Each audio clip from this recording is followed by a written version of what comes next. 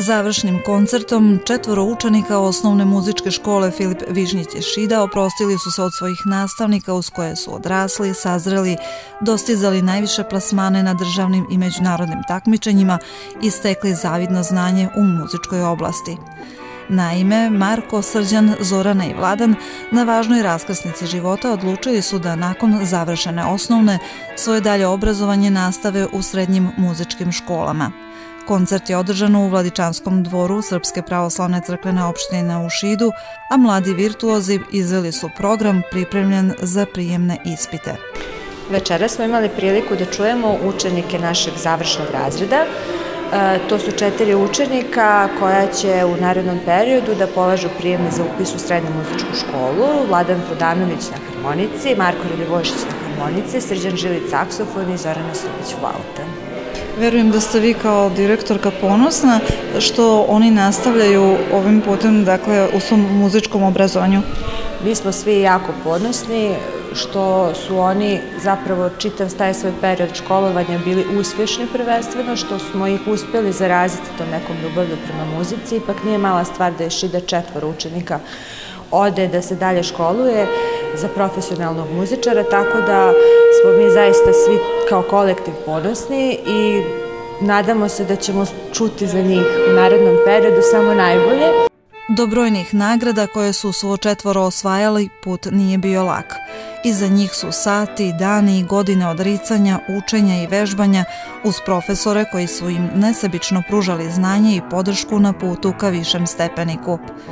Muziciranje mladih uz malobrojnu publiku sa divljenjem i punim srcem pratili su ponosni roditelji zadovoljni ostvarenim rezultatom svoje dece. Mladi virtuozi već narednog septembra krenuće dalje, svako svojim putem ka ostvarivanju snova, a muzička škola, drugari i nastavnici ostaju u najlepšem sećanju. Najprije to druženje u muzičkoj, je neka sreća koja nastaje tako druženju učenju muzike i sviranju, te, to naporno vežbanje. Kada bi ponovo birao instrument, koji bi to bio? To bi bila harmonika, naravno. To je najlepši instrument. E, upisat ću srednju muzičku školu u Novom Sadu i Sidor Bajić. Definitivno ću se sjećati moje muzičke škole po dobrom raspoloženju i po sreći, ne znam, ve, kada neko kaže muzička škola Filip Višnić, to me asocira na sreću i na dobar profet i naravno na učenje. I nikada neću zaboraviti moje nastavnike koji su me ovome naučili, a dalje planiram da upišem srednju muzičku školu Josip Slavenski u Beogradu. Sama nagrada, kada dođu rezultati, naravno da se osjetite bolje. Koju bi izdvojio kao najomiljeniju? Pa u Bijeljini poslednje takmičenje, predposlednje takmičenje, laureat. Bilo je lepo iza tebe je puno rada. Po čemu ćeš se ti sećati svoje muzičke škole?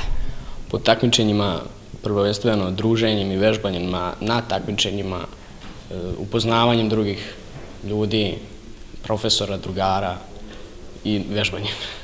Svoje muzičko obrazovanje nastavljaš gde? U Beogradu, u muzičkoj školi doktora Vojislav Vučković. Pa saksofon je jedan divan instrument koji ne može uglavnom svako da svira, to je meni jedan čovek rekao pre mnogo godina.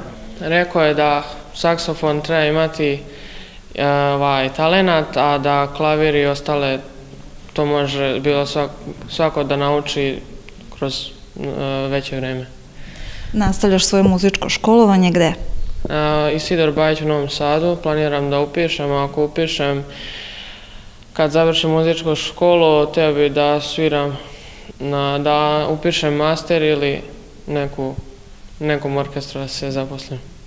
I za kraj ovog završnog koncerta veliki aplauz prisutnih kao najviša ocena i podrška u daljem školovanju četvoro mladih, talentovanih, sada već bivših učenika muzičke škole Filipe Vješnjić.